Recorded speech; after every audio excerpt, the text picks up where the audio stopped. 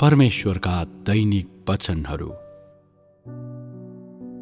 परमेश्वरको व्यवस्थापनको योजना छ हजार वर्षसम्म फैलिन्छ र उहाँको कामका भिन्नताहरूको आधारमा तीन युगहरूमा विभाजित भएको छ। पहिलो युग पुरानो करारको व्यवस्थाको युग हो। दोस्रो अनुग्रहको युग हो। र तेस्रो आखिरी दिनहरूको परमेश्वरको राज्यको युग हो। प्रत्येक युगमा फरक पहिचानको प्रतिनिधित्व गरिएको छ। यो काममा भिन्नता अर्थात् कामको मागहरूको कारणले मात्र हो।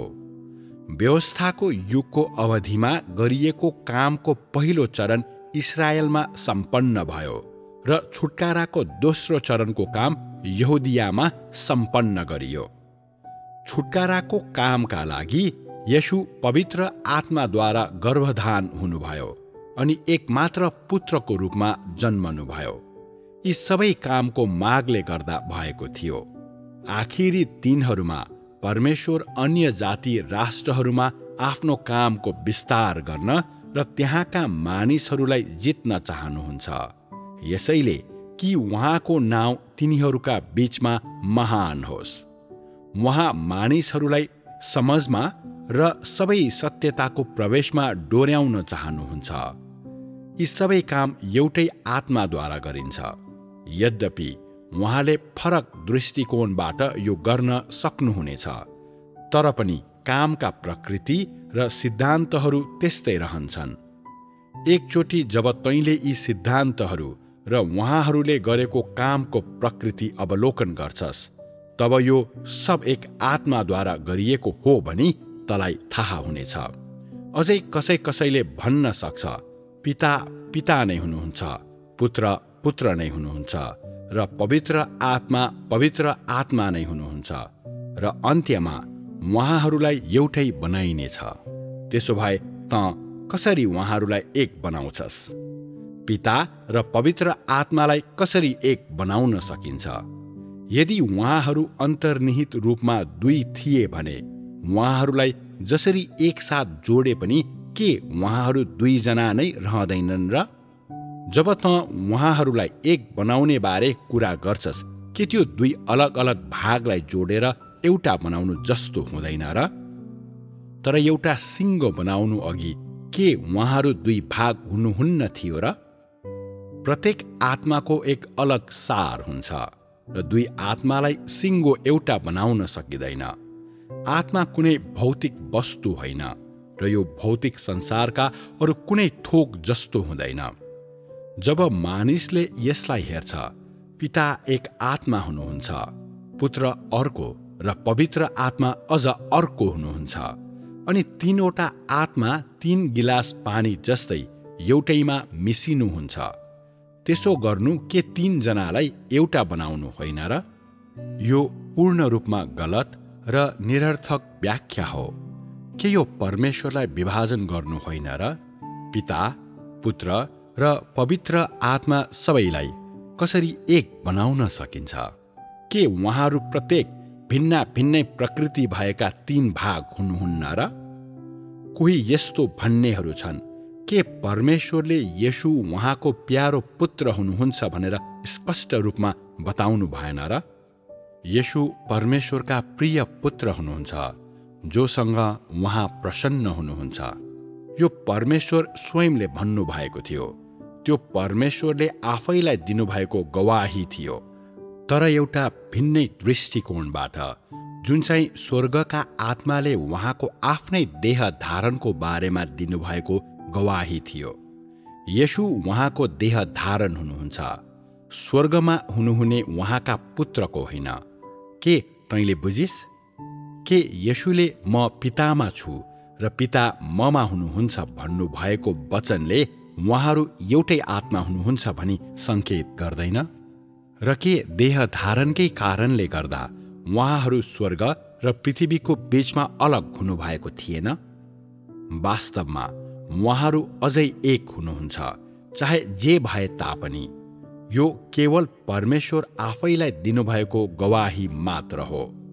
युगहरूमा परिवर्तन भएकाले कामका मागहरू र उहाँको व्यवस्थापन योजनाका विभिन्न चरणहरूको कारण मानिसले उहाँलाई बोलाउने नाउँ पनि फरक हुन्छ। जब उहाँ पहिलो चरणको काम गर्न आउनुभयो उहाँलाई यहोवा कहलाइन सकिन्थ्यो। जो इसरायलीहरूका गोठालो हुनुहुन्छ। दोस्रो चरणमा देहधारी परमेश्वरलाई केवल प्रभु र ख्रिस्ट कहलाइन सकिन्थ्यो तर त्यसबेला स्वर्गमा हुनुहुने आत्माले उहाँ परमेश्वरका प्रिय पुत्र हुनुहुन्छ मात्र भन्नुभयो र उहाँ परमेश्वरका एक मात्र पुत्र हुनुहुन्छ भनी उल्लेख गर्नु भएन यो त्यसै भएको थिएन। कसरी परमेश्वरको एकमात्र सन्तान हुन सक्छ? त्यसो भए के परमेश्वर मानिस बन्नुहुन्न थियो र? उहाँ देहधारी हुनुभएकोले उहाँलाई परमेश्वरका प्रिय पुत्र भनियो अनि यसैबाट पिता र पुत्र बीचको सम्बन्ध बन्यो। यो स्वर्ग र पृथ्वी बीचको अन्तरको कारणले भएको थियो। यशुले देहको दृष्टिकोणबाट प्रार्थना गर्नुभयो। उहाँले सामान्य मानिसको देह धारण गर्नुभएको हुनाले देहको दृष्टिकोणबाट उहाँले भन्नुभयो मेरो बाहिरी खोल सृष्टि गरिएको प्राणीको हो किनकि यस पृथ्वीमा आउनका लागि मैले देह धारण गर्छु। म अहिले स्वर्गबाट टाढा धेरै टाढा छु। यसकारण उहाँले पिता परमेश्वरसँग देहको दृष्टिकोणबाट मात्र प्रार्थना गर्न सक्नुहुन्थ्यो।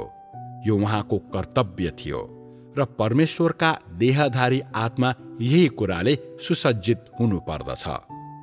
उहाँले देहको दृष्टिकोणबाट पितासँग प्रार्थना गर्नुभएकोले उहाँ परमेश्वर हुनुहुन्न भन्न सकिँदैन। यद्यपि उहाँ परमेश्वरका प्रिय पुत्र कहलाइनुभयो उहाँ अझै परमेश्वर स्वयं हुनुहुन्थ्यो किनकि उहाँ आत्माको देह धारण हुनुहुन्थ्यो। र उहाँको सार अझै आत्मा नै हुनुहुन्थ्यो।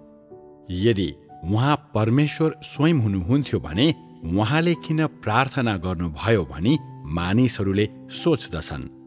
किनकि उहाँ देहधारी परमेश्वर देहमा बास गर्नुभएका परमेश्वर हुनुहुन्थ्यो। स्वर्गमा हुनुहुने आत्मा होइन। मानिसले हेर्दा पिता पुत्र र पवित्र आत्मा सबै परमेश्वर हुनुहुन्छ।